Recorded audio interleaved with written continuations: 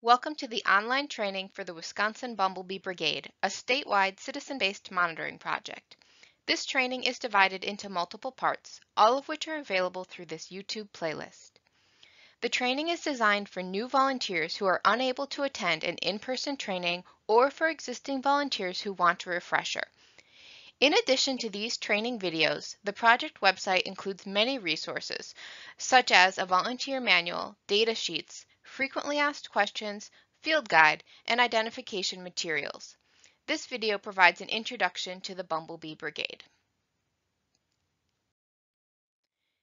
In Wisconsin, we have 20 species of native bumblebees.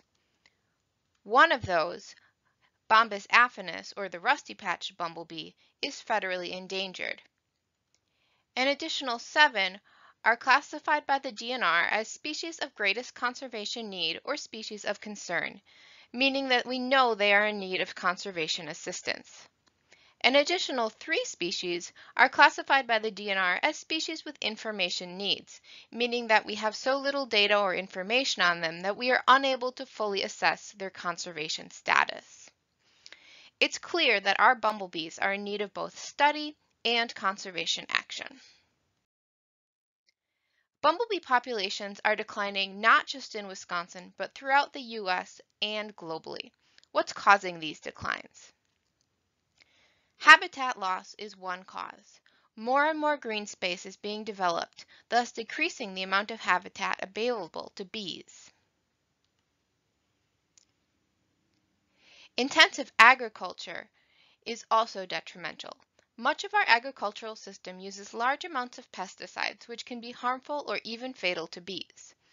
It has also decreased floral diversity because of our tendency to plant only one crop over a large area and to remove quote-unquote weedy species of flowering plants that might provide additional food for bees. Finally, commercial bees can spread disease and outcompete our wild native bees for food resources. These commercial bees include both honeybees, which are not native to the U.S., as well as commercial bumblebees.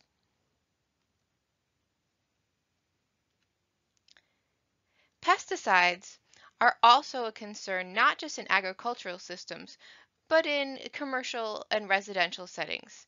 Many people use them on their own lawns, and some municipalities spray to remove insect pests. Disease is also an issue. It is especially a concern in already weakened or diminished populations. Finally, climate change can play a role as well. Bumblebees are very hairy, which means that they don't do well in warming temperatures. This may lead to contracting ranges as bumblebees are relegated to the cooler portions of their historic range. Climate change is expected to lead to more extreme weather events, like drought, which can kill the flowering plants that bumblebees rely on for food, or flooding, which can be devastating because many bumblebees nest underground.